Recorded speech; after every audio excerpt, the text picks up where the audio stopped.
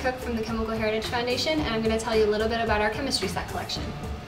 Most people know chemistry sets as a toy, mostly aimed towards children from the 1950s and the 1960s. But chemistry sets actually started a long time before that. They actually started as a teaching tool in the 18th century, mostly in England and in Germany. In 1917, a set of brothers from Hagerstown, Maryland decided to bring the chemistry set to the United States. Their company, the Porter Chemical Company, created the very first chemistry set in the United States under the brand name of Chemcraft. Porter was eventually joined by companies like Skillcraft and AC Gilbert, who's most well known for their Erector set, as the primary people, primary companies selling these toys in the United States. By the 1940s, every boy in the United States wanted a chemistry set, or so the saying went.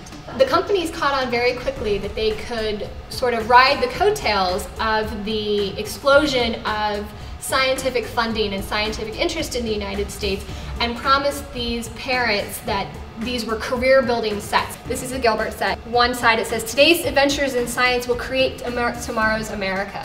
The other side of the set says, another Gilbert career building science set. So these kids really, really promised these parents that their children, by playing with these toys, had a really good shot at entering into not only what was a stable career at that point, but also a very promising future.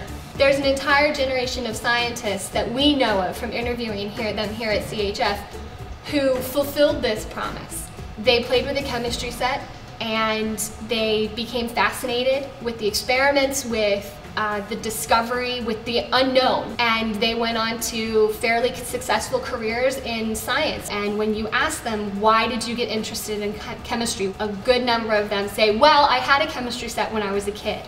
In the late 1960s, we see the chemistry set start, uh, start to wane uh, in popularity. And this is due to a number of reasons, including the fact that there are more uh, governmental regulations here in the United States that start to govern the types of chemicals that can be made available, especially to children. And at this point in the late 1960s, um, we start to start understanding the environmental repercussions and, and other types of things that start coming up with um, in the world of science. You have um, a shifting in the social understanding and the social sort of respect of what it means to be a scientist. Being a chemist was no longer fun and sexy, as I like to say. The Chemical Heritage Foundation houses the largest collection of chemistry sets held in a public institution. We have about 150 sets ranging from chemistry to physics to math.